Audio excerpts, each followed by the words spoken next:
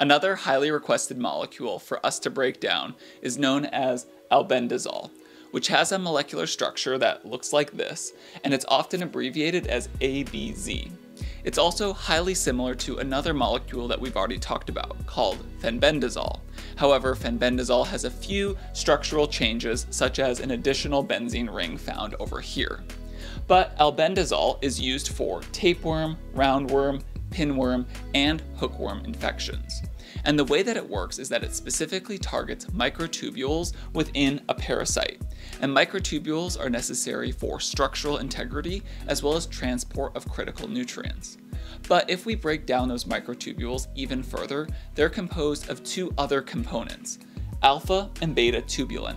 And those alpha and beta tubulins need to come together or polymerize in order to form the microtubules.